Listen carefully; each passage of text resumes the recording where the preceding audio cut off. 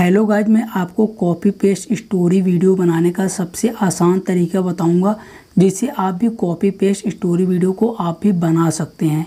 Master app पर आने के बाद मैंने यहाँ पर एक इमेज को सेलेक्ट कर लिया है। आप भी कोई भी एक इमेज को सेलेक्ट कर लेना। फिर आपको इस इमेज के ऑप्शन पर क्लिक करना है। इस इमेज को उतना ही लंबा कर देना है, जितना लंबा आप वीडियो को बनाना चाहते हैं। यहाँ पर मैं उस इमेज को उतना लंबा कर दिया हूँ। फिर आपको यहाँ पर पेन जूम का ऑप्शन मिलेगा, उस पर आपको क्लिक करना है। दोनों फिंगर के माध्यम से इस इमेज को जूम कर लेना है।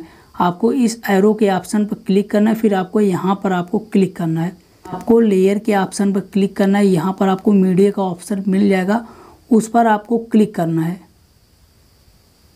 यहाँ पर मैं वाइट टम्पलेट को ले लेता हूँ। मैं आपको लास्ट के वीडियो में बता दूँगा कि वाइट टम्पलेट को कैसे बनाया जाता है। यहाँ पर आपको एरो मिलेगा। इस एरो के माध्यम से इस इमेज को चौड़ा कर लेना है।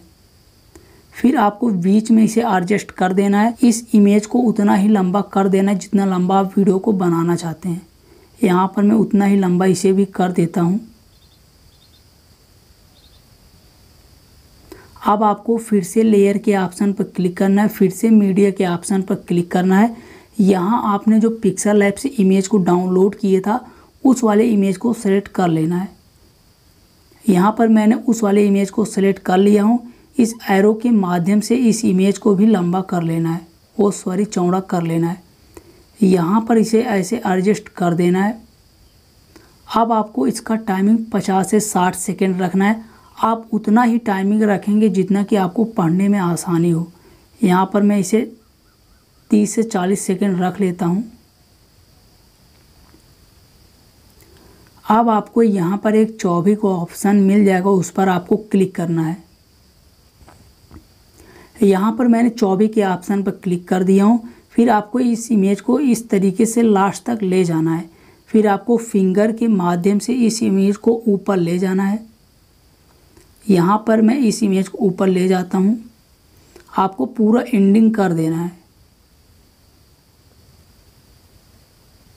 यहाँ पर आप देख सकते हैं, मैं अब आपको स्टोरी को स्टार्ट करके दिखा देता हूँ।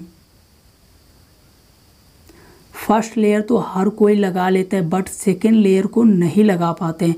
मैं आपको इस वीडियो में सेकेंड लेयर को भी लगाकर दिखाऊँगा। यहाँ पर आप देख सकते हैं कि कहानी काफ़ी स्पीड से चल रही है। अगर आपका कहानी काफ़ी स्पीड से चलता है तो आपको कहानी पर ऐसे क्लिक करना है। कहानी पर क्लिक करने के बाद इस कहानी को ऐसे लंबा कर देना। अगर आप लंबा कर देते हैं तो आपका कहानी स्लो में चलेगा।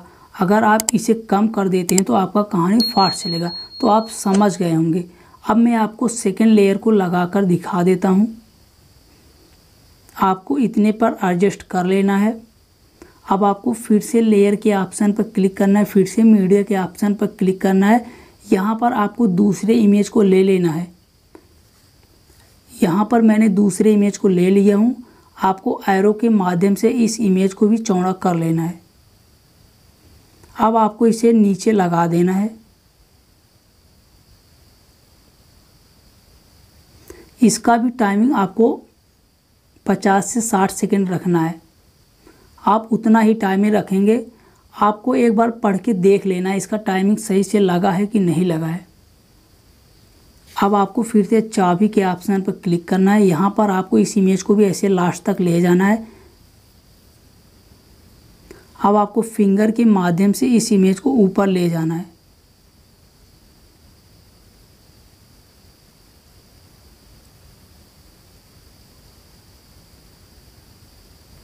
इसी तरीके से आप सारे लेयर को लगा सकते हैं। अब मैं आपको इस कहानी को स्टार्ट करके दिखा देता हूँ कि दूसरा लेयर सही से लग पाया है कि नहीं। यहाँ पर आप देख सकते हैं मेरा दूसरा लेयर भी लग गया है।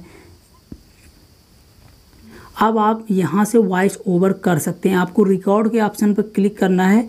आपको स्टार्ट का ऑप्शन मिल जाएगा। उस पर आप जैसे ही क्लिक करेंगे, आपका पूरा कहानी रिकॉर्ड होने लगेगा। अगर आपको मेरा वीडियो अच्छा लगा हो तो प्लीज़ यार सब्सक्राइब ज़रूर करना।